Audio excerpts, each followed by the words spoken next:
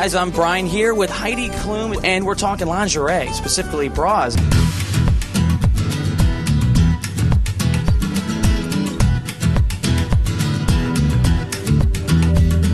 Bra that we're just launching today. It's called the Perfect One, and it is the perfect one for you know the everyday running around, going to work kind of business, and you want to feel like you're not really wearing one. Now I'm in the sh- actually shopping for something for my girlfriend. Is this something that I could get her? Absolutely. Do you know her size?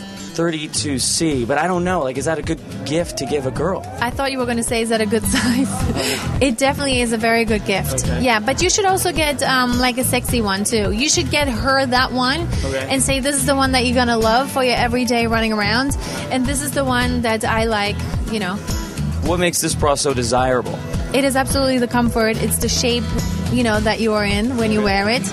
Yeah, but it's it's a comfort definitely. So I think that's very smart to put all that cushion up here, so it doesn't like bite too much into your skin because when you you know when you're heavier, and then if you feel this, this is thicker down here, then thinner here, and then thicker here again.